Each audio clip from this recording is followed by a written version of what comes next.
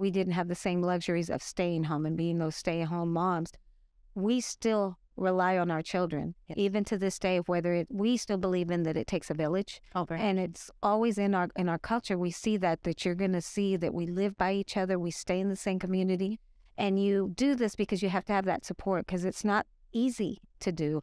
And how we see our parents did it, we'll never live up to it. I know. I look at my mom. I love my dad, and my dad is always my hero.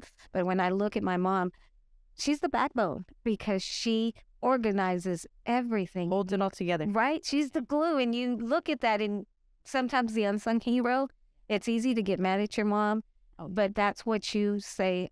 My mom does this, and it's family first. Very much so. That's the biggest thing family first. Yeah.